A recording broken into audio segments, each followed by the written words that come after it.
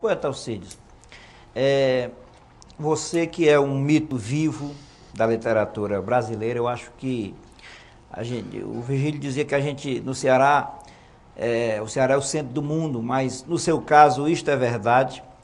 Eu acho que atualmente na própria literatura brasileira ninguém conseguiu essa mitologia em torno de sua vida, como você ao ponto de você próprio não saber mais o que é ficção e o que não é na sua vida, porque você é o seu principal um personagem, não aquele personagem vaidoso, vertical, mas porque a sua própria vida mirabolante transformou você num personagem exótico como os seus personagens.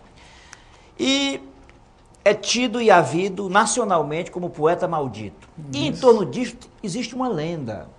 Diz que numa certa noite na Cinelândia, você se sentindo abandonado, desprezado e não reconhecido, o seu talento de escritor e tudo mais, e a sua própria vida num momento de grande precariedade.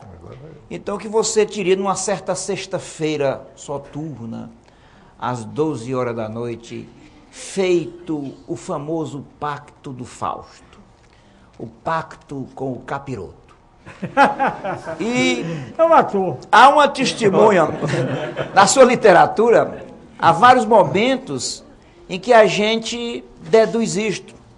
E se fica aquela dúvida macabra, será que o Zé Alcides vendeu a alma ao diabo? Este negócio de, de, de, de, de poeta maldito, até que ponto isto é verdade? E agora, oitentão, na hora do resgate, Setentão. então, Setentão. setentão, Passamos digamos, a correção, né? na hora da cobrança, da entrega da fatura, o Zé Alcide encheu a casa de Santos e está escamoteando o velho compromisso. Então, até que ponto isto é verdade? Por que essa lenda? Poeta. Por que essa história? Por que esse mito do poeta maldito e do pacto macabro com o demônio? Não. Isso aí realmente não tem fundamento, nem perigo. Isso é Ah, de falso. mas- é história de falso. mas nós queremos falso, saber. Do romance falso. Né? Mas como o Jorge então, além de ser um bom poeta, um bom crítico também, é um bom ator. Ele vê essas coisas de repente. É, as pessoas acabam pensando nisso. Não, isso é uma coisa nacional, todo mundo sabe. O Adriano Espírito já me disse que você é muito mais ator do que, do que, do que poeta. É, Ah, tá não, certo. Pô, tá muito Não falo isso. Mas você é um bom poeta. Mas é o seguinte, esse, esse, esse negócio de poeta maldito, certamente parte da minha irreverência. Às vezes, quando essa irreverência se faz necessária, certo? Respostas que me, me atribuem. às vezes- Eu nunca escrevi contra ninguém, mas respondo às críticas que me fazem. Eu acho que tudo é muito natural da vida. Mas quando eu escrevo, eu sou muito irreverente em, em responder minhas críticas. Porque realmente não tem fundamento.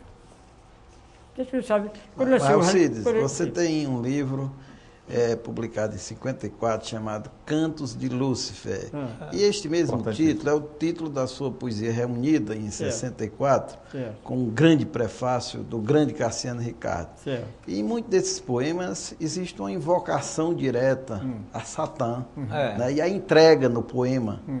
Da mesma maneira que em outros poemas você se entrega a Deus também. Certo. Mas existe em várias passagens dos cantos essa entrega. Né? Muito bem. Isso, isso é verdade. Mas Isso é uma figura porque de- escrevi literária? É uma figura, não, é uma figura literária não. Isso é muito mais realidade do que a figura literária. Embora se- ninguém saiba onde chega a realidade e a inverossimilhança, você sabe. É difícil dizer o que é verdade e o que não é verdade. Mas o certo é que naquele tempo, quando eu escrevi os Cantos de Lúcifer, eu estava no Rio de Janeiro, passando fome, dormindo Ah, nos é passeios, verdade. dormindo nos passeios da avenida, enxotado pelos guardas da prefeitura, pedindo comida no restaurante, restaurante estudante, restaurante, restaurante normal, restaurante da cidade, apresentando comida para comer, vim revoltado, tudo isso. Aí comecei a escrever, já era poeta, comecei a escrever em folha de jornal, nem papel tinha. Na Cinelândia. Na, na Cinelândia, né? Não, É tudo verdade, né? tudo é verdade. É. Muito bem. Mas eu ver, isso é verdade. Comecei a escrever em folha de jornais, porque eu não tinha papel no momento. Eu já escrevi jornais eh, manchados de urina, de Fezes. fezes, de fezes. Claro, podia tudo lá na praça, né? Escrevi, ia dar um boletim cuidadosamente guardando. Assim nasceram os cantos de Lúcifer. Nasceu de uma revolta. E é caminho já dizia, toda vida consciente é uma revolta. Alcides, tem Todo um- consciente é Alcides, tem um, um dado interessante nessa história, Hum. é que na década de 70, Ele sabe tudo. Né? muito tempo depois, você fez outro pacto. Ah, outro Você pacto? tomou o hábito de São Francisco de Ah, Assis. Essa história eu vou contar, E- detalhe. Olha tomou o hábito de São Francisco de Assis e É. fez uma conversão do ponto de vista divino. E com esse hábito você passou vários anos desfilando pelas ruas, ia para a eu Não universidade. para comer desfilando, não. O que, Não, o que eu- eu está por trás deste segundo É. pacto? O que é que está por trás do segundo pacto? Não, eu O- acho assim. da- do- quando você tomou o hábito de São Francisco. Todos nós sabemos que a vida é assim. A mulher é o desespero da vida de de Adão. Foi por causa da mulher e Adão, que nós, por causa da mulher que nós estamos aqui. Por causa da desgraça do mundo, é Caim e Abel. Isso é história bíblica que pode ter. O bem e o mal caminham juntos. O sagrado e o profano caminham juntos. Ninguém chega a Deus se não passar por tudo isso. Se não for uma pessoa eh, completamente pecadora. Por São Francisco. O Santo Agostinho tinha até um filho. Isso, isso é do homem, da natureza do homem. Muito bem. Mas eu sempre fui muito místico. Por quê? Meus pais eram católicos, meus avós eram católicos, minha mãe era católica. Eu fui criado rezando o texto na hora da, da, na hora da refeição, na hora de dormir. Então, o misticismo estava sempre impregnado dentro de mim. Aí eu Claro. apareci como uma dor terrível. Digamos, vamos um- falar uma, uma linguagem assim que todo mundo entende, no baço. Científico deixou outra palavra, no baço, uma dor terrível. E padre não podia dormir, dor terrível. Aí fui a um, fui fazer uma radiografia. Nesse tempo não tinha nem esse negócio de, como é que chama? Ultrassonografia, não. Ultrassonografia. Não, não tinha essa coisa mais ou menos moderna, de 20 anos para cá. Isso foi criado pelas mulheres para saber se tem filho, bucho, barriga, não sei o quê, não sei o quê. Que tipo de filho que tem. Muito bem. Aí, o que foi que deu? Eu dou testemunho disso. Deu vários, vários, vários. Não nome Manchas. ricos. Eh, Não, tumores, Nódulos. tumores. Nódulo, nódulo. Nódulo. A palavra é nódulo, perfeito, muito obrigado. Fala o nódulo do pulmão. O pulmão está cheio de nódulos. E eu não sentia nada. Só sentia essa dor do baço, não tinha nada a ver com o pulmão. Ele falou, o que eles fazem agora? Eles fazem, começa logo pelo pulmão, né? Pelo tórax, né? Aí vai vai fazer tudo isso muito bem. Aí quando o meu, meu, meu sobrinho, tipo assim, Gerardo Pinto da Frota, que é irmão, é filho do Gerardo Frota, Gerardo Pinto da Frota, examinou, disse, tipo, poeta, vem cá, tipo, poeta.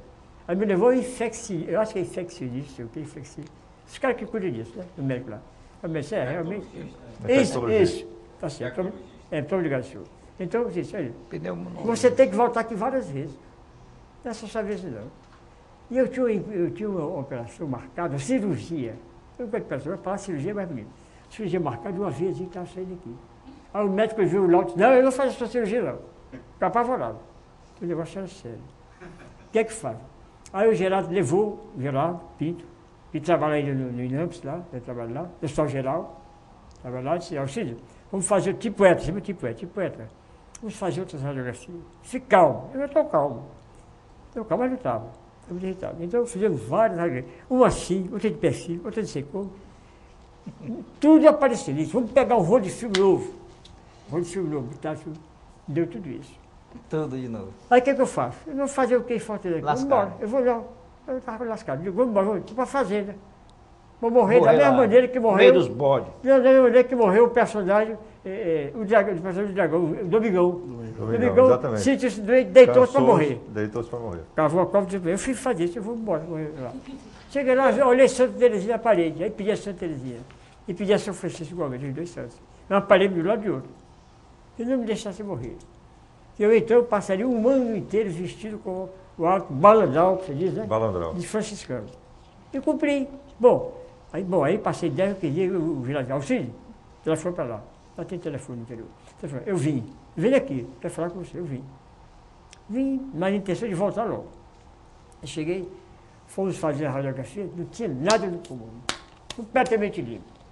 Limpo. Eu não quero que Deus me dê mais um momento de vida se for verdade isso. Porque Deus existe. Tá certo. Mas, só, a vida só faz sentido no plano divino. Deus existe. Só no sentido. Seu grau, Muito bem. Deixa eu falar. Peguei, sim. Mas você me atrapalhou, atrapalhou. O que é que Ah, eu falei? Claro, fica à vontade, mas fica à vontade. Não, o que é que eu estava falando? Estava falando de, deu da existência de. Deus e da, da, da, licença, clareza que você então eu fiz essa promessa. Fiz essa promessa lá e vim para cá. Mas não estava pagando a promessa porque tinha que tirar a prova. Não as radiografias, tirar a prova. Não deu nada. Aí ele, chegou, aí ele chegou, chamou um amigo meu, que vocês sabem que tem uma, uma- tem um, é, uma clínica aqui, eu estou Trajano de Almeida. Trajano É Almeida. conhecidíssimo. Já a gente com disse, vou acompanhar esse negócio contigo, eu, em geral, sou muito amigo. Já trabalhamos juntos, JF, tudo isso. Aí foram. Aí pedi aquele, aquela radiografia que entra pela cabeça e vai embora direto. Não, ou É. tomografia computadorizada. É isso mesmo? Isso. Que ali dá tudo. Tranquilo, estava um garoto, não tinha nada. Nem Zerado, pulmão, nem baixo, nem coração, nem nada, tudo isso. Então o que, é que eu faço? Pagar minha promessa, lógico. Claro. Né? Aí não tinha esse negócio de vergonha, não. Mandei fazer o manto franciscano, manto fechado, entrei do manto, mandei fazer por aqueles capuchinhos ali, ali da. Os capuchinhos. Isso. Caríssimo, belíssimo, eles fizeram tal e tudo isso assim. Eu cobrava da prefeitura, cobrava só Rafael, Rafael eu comprei. Aí comecei a pagar. Passei o ano inteiro com o manto, eh, andando, indo dando aula na universidade. No próximo bloco, José Alcides Pinto fala do papel social de sua obra.